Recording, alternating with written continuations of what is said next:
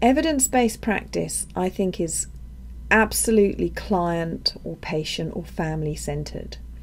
And it's our job as clinicians to interpret this evidence, but to relate it to this individual, their preferences, the culture that they're living in, the setup of their home. And we need to be able to help people determine this, this benefit of intervention against no intervention. And that's always an option. And so, in following these principles of evidence based practice, I think that we really, it goes hand in hand with ethical healthcare. If we're evidence based and we think of the three cornerstones, we will be ethically appropriate.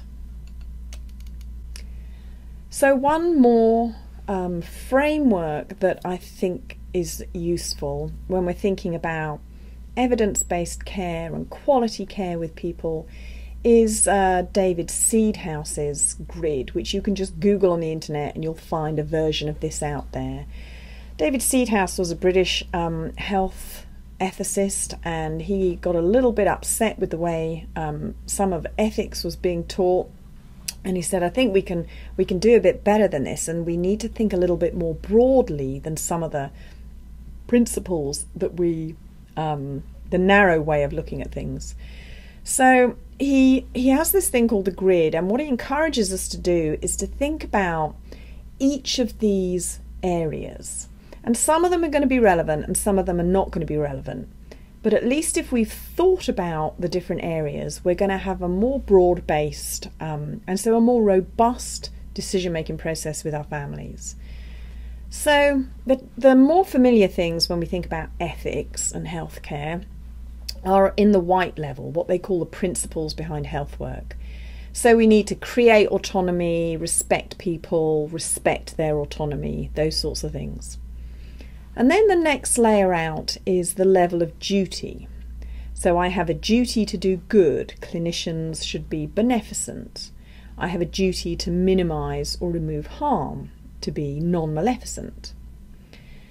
And then the next layer out is making us think a, a little more broadly than perhaps we're used to thinking. So, is the outcome that we need to be negotiating around the most beneficial outcome for the patient? And that's traditionally where we think about things. But could it be something to do with the family? So it's all very well talking about feeding tubes for this tiny baby who's um, in a critical situation, but the family may have no idea how to handle the technology or be able to afford the feed, uh, the tube feed itself. And so, what's going to be beneficial for that whole family to deal with? What might be beneficial for society? Not so much that we deal with this, but if you think about um, conditions such as TB, well, it's all very well me being autonomous and having raging TB and wanting to, uh, you know, discharge myself from hospital, but that's not good for society. So you're going to put me in quarantine. And then the outside level, equally important, the level of practicality. What resources are available? What does my code of practice say? What's legal? And so, if we force ourselves to think about these different aspects, we're going to have a, a more solid foundation for the, the thoughts that we have as clinicians, and it will help us to engage better with our families who actually have to live out in the real world and are trying desperately to deal with what's practical. So, what does informed mean in terms of us as clinical experts? Well, it means that we need to be informed and not eminent. An informed clinician or academic is not someone who simply provides lots of education to others.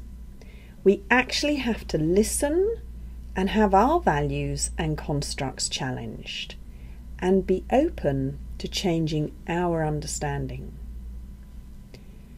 We must triangulate across sources and we have a duty to reflect on our practice, as advised by J. Katz, who was a physician, in his book from 1984 called The Silent World of Doctor and Patient.